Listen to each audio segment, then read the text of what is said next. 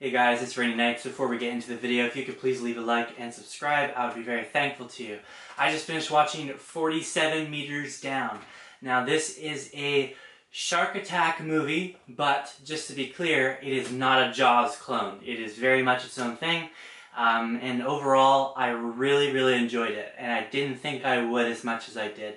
I've seen other shark movies that obviously are not nearly as good as this one, so then maybe that's also influencing me. I've seen The Shallows with Blake Lively, it was alright. Um, and I saw this Australian movie called Bait that was just terrible. And then obviously we have stuff like Sharknado and stuff, and The Meg, you. So there's a lot of bad stuff in this uh, horror subgenre. This one's a gem though, no denying it. It obviously does have some issues, but uh, overall it was enjoyable. So the plot of this film, and um, there's going to be one major twist later. I haven't decided whether I want to spoil it or not. I don't think I need to, yeah. So there, there won't be spoilers in this review. Um, so the plot of this is we're following two sisters who go on vacation to Mexico. Uh, one of the two sisters got dumped by her boyfriend and she's feeling extra sad. And the reason the boyfriend dumped her was uh, because she was boring, allegedly. So she is determined to prove him wrong and goes on a spontaneous adventure with her sister. Uh, it should be mentioned that the sister is way more brave than she is and daring. And uh, eventually they are honestly stupid enough to follow some strange men into the uh, ocean middle, so the, the middle of nowhere in the ocean, and they go on an illegal shark diving trip in a cage uh, but the cave, the, sorry, the cage uh, drops to the uh, bottom of the seafloor, which is why it's called 47 meters down. And uh, they're running low on oxygen. They're panicking. They're often bleeding in this film, and they can't they can't just swim directly up for two reasons. One, because the risk of sharks, and two, because the pressure in their brains will, um, I don't know the exact science behind it, but I know that they can't go to the top of the surface too rapidly, otherwise they will die. Um, their brains and ears won't be able to uh, take the pressure and the um, the other with nitrogen. So overall, I liked it. Um, I liked it because it was it was just a surprise. That's the main thing for me is that it's a surprise. Um, I'm not going to say these characters are extremely fleshed out, but they're far more fleshed out than your average B movie horror. And I wouldn't even call this a B movie horror. I would call this an A movie, uh, an A horror. I think the sharks actually look pretty decent. The fact that it's PG-13 actually did not hold it back at all, which was surprising. Um, the blood was fine. I didn't was not disappointed in any of the action areas. Um, and it's a very tense and immersive film that takes place in a bottle location survival scenario. And while most of us will probably not be in a situation like this, it's still somewhat relatable enough that you can still feel fear for the characters. And while the characters themselves make extremely poor decisions, um, I felt they were still versed and fleshed out enough to the point where I did care about them and I did want them to successfully escape, which is very important in bottle location survival scenario movies. You have to actually want the characters to escape successfully because if they were really annoying or if they're bad people, then you wouldn't really care as a viewer whether they live or die and then it kind of ruins the experience. But here, while one of the sisters is very coercive and manipulative, um, I don't think she deserves to die for that, so I was still rooting for both of them equally. But yeah, I, I had a really good time with it, and um, overall, thumbs up. And uh, honestly, the best part of the movie is uh, it gives you this false sense of hope uh, and then it abruptly rips it away from you in one of the coolest twists I've ever seen in a horror movie, or just any movie, period. I don't want to ruin it for you, but it's brilliant. Like, honestly, it is so, so brilliant. Just watch it for yourself. I really don't want to ruin it for you, but there is a major twist that happens maybe 70% into the movie, and it's going to blow your mind, I guarantee you. So, uh, where are the issues though? So the issues for me, I've never said this in a movie I don't think before, but so this is a first for me. I felt they talked too much. There was too much dialogue. Actually, I probably have said that before. I probably have said that in uh, the Star Wars prequels. I think I mentioned that they talk too much. Um, but this is more valid than that, I would say. This is like uh, this is like a scientific thing and a viewer thing.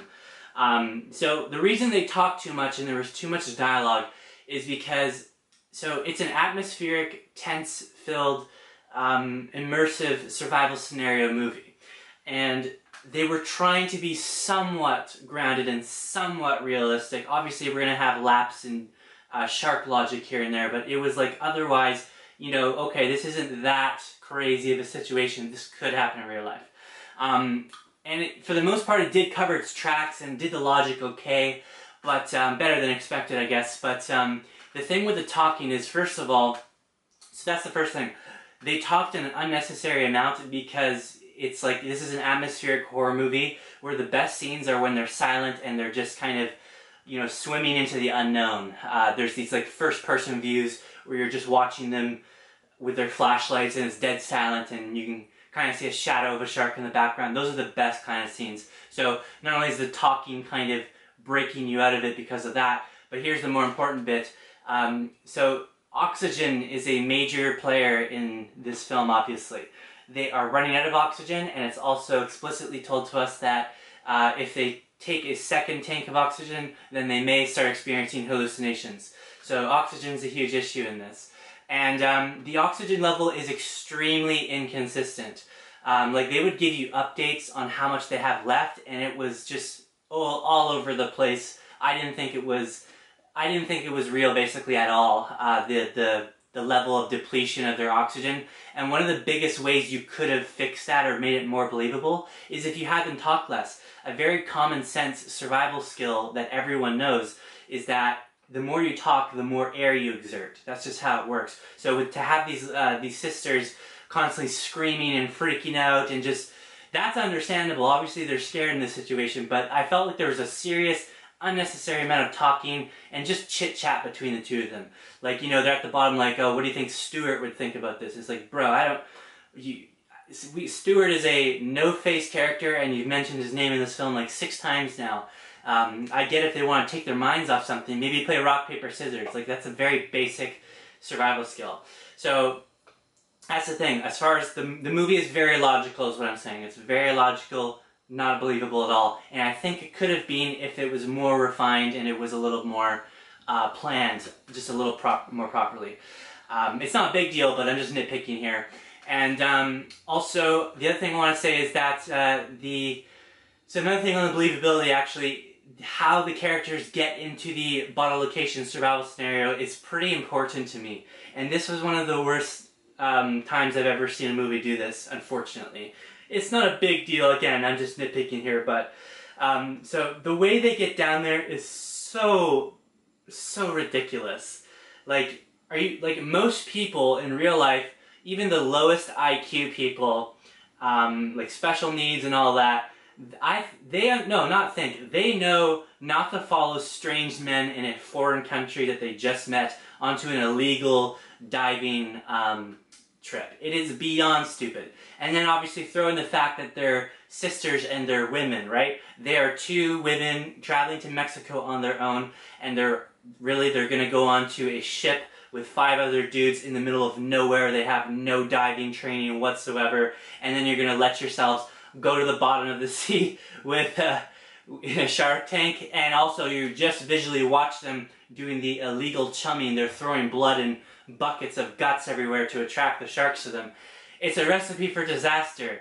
And um, while you could kind of excuse this by saying, you know, one, the sister, one of the sisters is extremely manipulative and coercing the other one by saying, oh, if you want to, if you want to impress, um, if you want to impress Stuart, then you want to do this. You know, oh, come on, come do this because if you take a selfie of yourself in a hotel room, then your man's not going to want to take you back. You need to come do the shark diving with me and then he'll take you back. So it was, she was obviously treading on thin ice as far as morality went. Um, she gets better, but like she, at the start of the film, she's a terrible person, just objectively. But it does that gets excused by the fact they're sisters. Originally, I thought they were just best friends or something, and then I was like, "Holy shit, how are they friends? Like this is a terrible friend." The fact they're sisters explains that a little bit more. Um, but also, it's just naivety. I guess it's just naivety and uh, I'm not someone who loves to see naivety in characters. And there's also another additional layer of naivety here, is that the one of the sisters' original motivation, the reason that they're in this situation in the first place, is to win back her boyfriend that left her because she's boring. Well, if this was a half realistic movie, do you think, uh, like, just if you're a man watching this right now, uh, if you left your girlfriend, do you think her going on a shark diving trip would win? Would that would that do it for you? Would would that win her back for you? No, that was probably just a fake nice reason. Oh, you're boring. It was probably a completely separate reason, and he's sparing her feelings. Even if it is the real real thing, it's like, why are you trying to prove yourself so much to this guy? It's, why are you going? To, it's it's. Uh, those are the stuff you don't want to think about, and I'm only thinking about it purely for the sake of this review. I'm going to give 47 Meters Down a 7 out of 10. In my opinion, it is the best shark movie since Jaws, which is about 40 years now. Um, but it's not exactly a competitive subgenre, so, you know, it, it's still good though. I definitely recommend it, if only for the uh, tension and atmosphere and the genuine horrorness of it.